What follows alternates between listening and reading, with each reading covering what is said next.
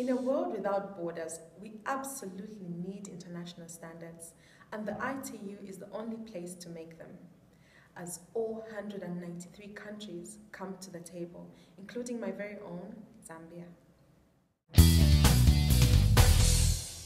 The BSG program is uh, really, uh, you can say, uh, a catalyst in, in enabling and making our Indian innovators and technologists understand how to, what are the finer nuances uh, of the standardization ecosystem and standard, development process so that they can uh, uh, proactively contribute and bring in value to on those standardization tables globally. The big takeaway for me was the power of the microphone. I love that because it is important that you use your voice to voice your, sta- your stand or your comment or your contribution and the only way that you can your presence can be uh, felt in standard making is by use of the microphone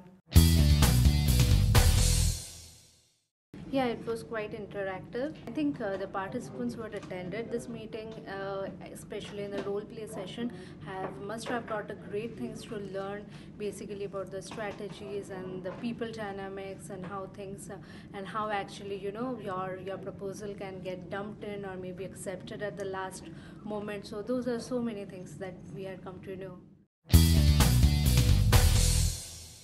Moi, je viens à l'UIT pour mettre en place les normes. Les normes qui sont bonnes pour mon pays et bonnes pour le monde entier.